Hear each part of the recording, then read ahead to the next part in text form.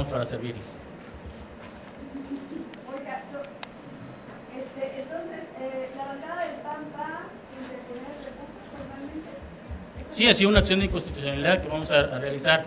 Obviamente los que pueden hacerla son los diputados que estuvieron precisamente en, en el, debate que estuvimos ahí dentro. Tenemos ya alrededor de 17, estamos viendo la posibilidad de que los compañeros del PRI también tengan precisamente la, intención de firmarla y poderla llevar a cabo. Eso es lo que estamos viendo ahorita. Oiga, ¿y cómo van a solucionar este tema de transparencia? El debate fue, pues que nadie sabe dónde están sus cuatro mil millones de pesos, pero ¿hay alguna cuestión legal, algo que puedan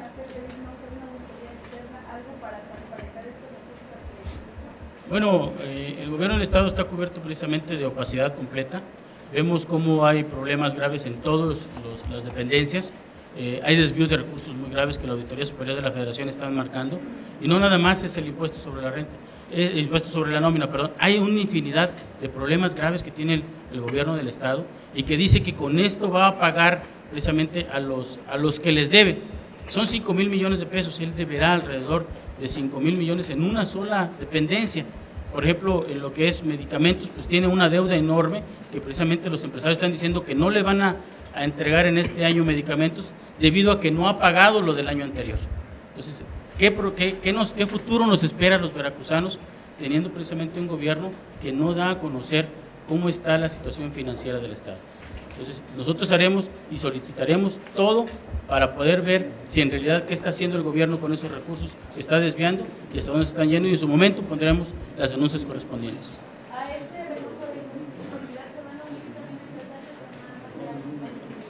Será por parte de los diputados. Porque ya ayer los empresarios tomaron una foto con el gobernador, hicieron sus lugares, contentos.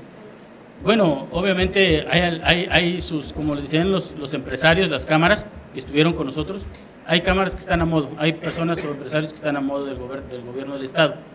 Y los que no están a modo, los que sí en realidad defienden tanto su patrimonio como el patrimonio de los trabajadores, son los que tienen precisamente acciones que van a ser como, un amparo que pueden iniciar para poder darle un alto a este impuesto. Sin embargo, ayer el gobernador decía que este amparo o, o la acción de inconstitucionalidad se va a proceder y que incluso iban a gastar más los empresarios en pagar abogados que Bueno, yo siento que ese es el punto de vista del gobernador, pues ahí de- de- de- este, esperemos que determine la Corte y ver qué, cuáles son las determinaciones que toman.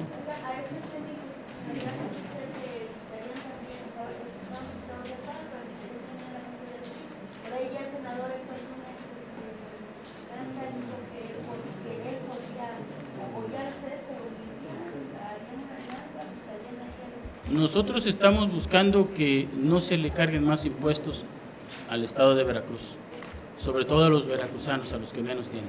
Haremos cualquier acción para poder precisamente llevar a cabo este, este objetivo, que es evitar que sigan saqueando Veracruz. Incluso, o sea, los dos priistas en el, en el- en el Congreso votaron junto con los perredistas, con, con los petistas, ¿verdad? con Movimiento y con el PAN. Exactamente. Hasta ahorita entonces, para aclarar, son 17 diputados que irían en- En efecto, es, que es, que es más, PAN, PT, Movimiento, PRD y, los eh,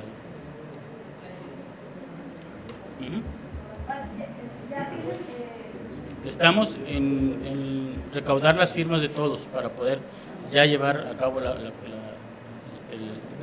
presentación del, del documento. En eso estamos, precisamente ellos están, eh, están en mucho, muy desacuerdo, inclusive su votación fue en contra, su voto, y ellos mismos dijeron en tribuna, bueno, Abue dijo que era dañino para Veracruz el hacer más impuestos. ¿Son 16 o 17 diputados? Somos 10 del PAN, son 17, Nada, aclaro, son 10 del PAN, 10 del PAN, 2 del PRD, 1 del Movimiento, PT, este, 2 del PRI y... ¿Quién está? 10, 2 del PRI, 3 de, 2 del Movimiento, 1 del Movimiento, 2 del PRD, el del PT y está Tronco, que es también el que quiere. para ver este, cómo ves ya el cambio de dirigencia dentro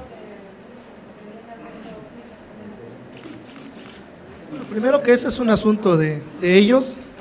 Siempre he tratado de ser respetuoso con, pues, con- ellos en, en ese sentido, en sus movimientos internos.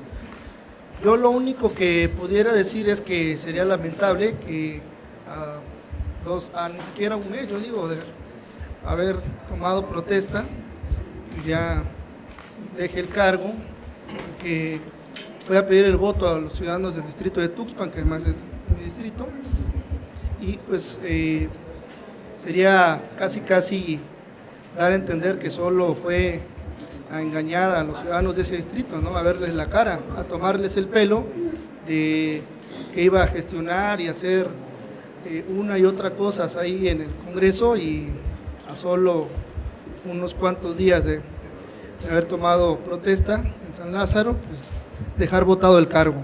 Yo creo que eso es sumamente irresponsable si es que se llegase a dar, claro.